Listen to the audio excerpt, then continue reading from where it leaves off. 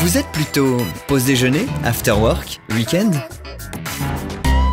Avec la CEART, le passe musée de la métropole européenne de Lille, allez au musée quand vous voulez.